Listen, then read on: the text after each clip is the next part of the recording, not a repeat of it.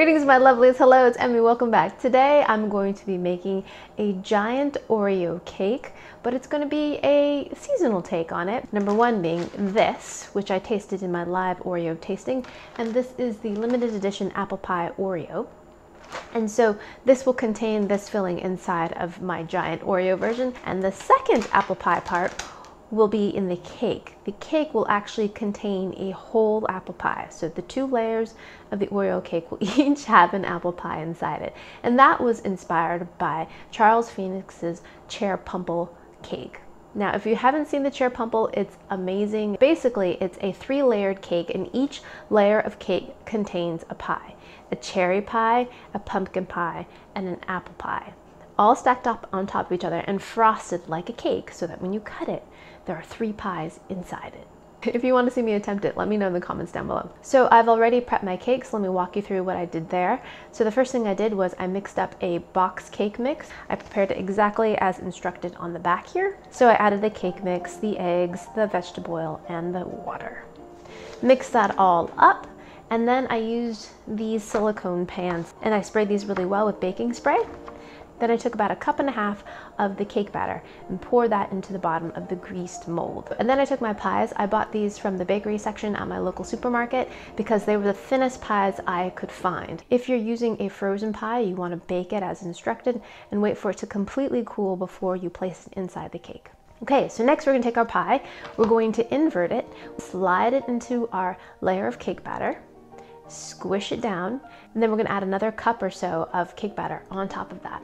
Then do that with the second half and then bake this as instructed. Place it in an oven at 350 degrees for about 25 to 28 minutes or until a toothpick comes out clean. Then we take our cakes out. We're gonna let them cool on a rack for about 10 or 15 minutes. Then taking a serrated bread knife, we're gonna even them out a little bit, cut the top off. And then we're gonna take them out of the mold and let them cool completely before we add our icing layer and now I'm going to make the filling. So what I've done here is I've taken an entire pack of apple pie Oreos and I've opened them up and I've removed the filling on the inside. I'm going to combine some store-bought frosting with my Oreo filling. Mmm, smells like frosting. All right, so I'm going to go ahead and use the entire jar here and I'm going to combine the apple pie mix. Okay. Looks kind of like peanut butter, but it doesn't smell like peanut butter. No, it doesn't. It smells like a craft store. Okay. I said craft store, not crap store, as in the place where you buy pom-poms and glitter. All right, come on, let's together. I probably should have used a bigger bowl. Uh, that's all right. There is our filling. Now let us assemble the cake. Got myself a cake stand. Get my hair out of my face. Place your cake stand on top of this. Quickly flip it. Now we're going to generously slather our filling right on top of that. Boom, boom, boom. Now we're going to take our offset spatula and smear this. Now, if you were pro, you'd probably be piping this, but I'm not pro. Not at all. Boy, that's a lot of frosting.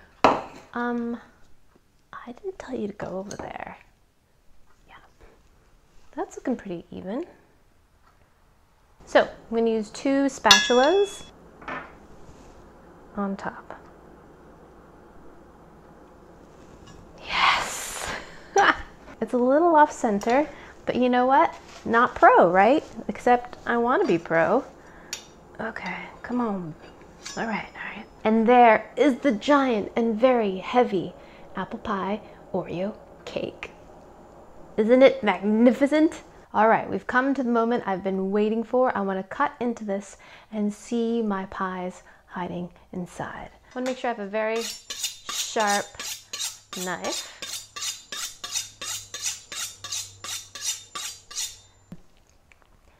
Boom. Ooh, slices pretty readily.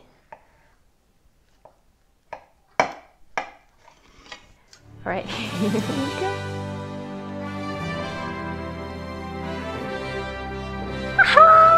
There it is!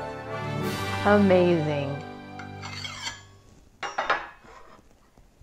apple pie inside of a cake.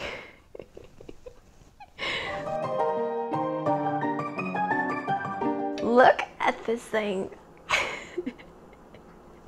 I'm so glad that this worked. I thought of many different ways of doing this. I actually thought of doing small home run pies instead of an entire pie because I knew that entire pie would be a little bit too thick, but I decided to try it anyways because this cutaway is so much more impressive with a whole pie as opposed to two small pies. So, yay! And here is the pie, or cake, pake, and it is falling under its own weight. Let's get a bite with everything. Cake, pie crust, frosting, second pie. Itadakimasu.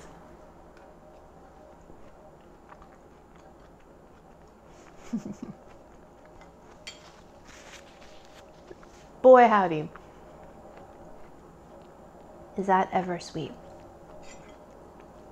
It's pretty tasty though. So that bite tasted just like apple pie, cinnamony, sweet, a little crunch of cooked apple.